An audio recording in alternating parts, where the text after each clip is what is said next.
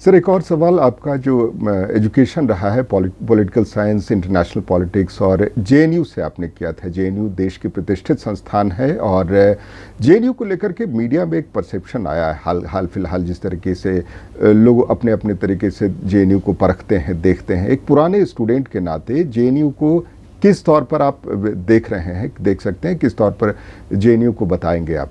जैसा आपने सही बोला वो मीडिया का परसेप्शन है। जी।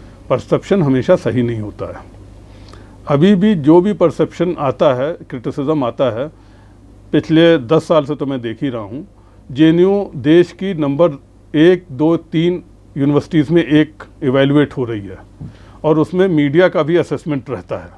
तो जिस यूनिवर्सिटी को आप टॉप तीन यूनिवर्सिटीज़ में लगातार पिछले 10-15 साल से असेसमेंट कर रहे हैं जी। तो वो असेसमेंट के बाद जो परसेप्शन है उसमें अगर उतना अंतर है तो ये मीडिया को देखना चाहिए कि कहाँ पे किस वजह से ये अंतर आ रहा है।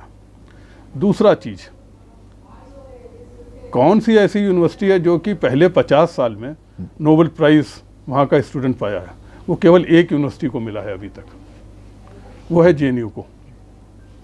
अभिजीत बनर्जी जी तीन साल पहले वो जेएनयू के स्टूडेंट थे। और जेएनयू को अभी तिरपन चौवन साल हुए हैं चालू हुए। जी। तो मुझे नहीं मालूम है कि कोई इंडियन यूनिवर्सिटी पहले पचास साल में नोबल प्राइज़ प्रोड्यूस किया वो भी इकोनॉमिक्स का जो कि काफ़ी कॉम्पिटिटिव होता है।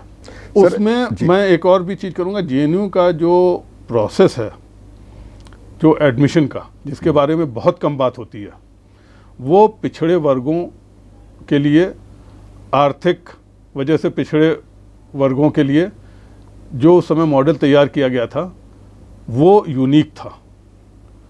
और उसमें अगर आपने फॉर एग्जांपल हाई स्कूल पिछड़े इलाके से किया तो आपको उसमें बोनस पॉइंट्स मिलते थे। आपकी फैमिली के इनकम के आपको बोनस पॉइंट्स मिलते थे। कास्ट कम्युनिटी के आपको बोनस पॉइंट्स मिलते थे। और ये इवेल्युएशन 20 परसेंट होता था। जी। सौ में से 20 नंबर इस चीज़ के दिए जाते थे। इस चीज़ को कोई नहीं बताता है। जी। तो ये परसेप्शन वाली बात मैं बोलूँगा। बिल्कुल।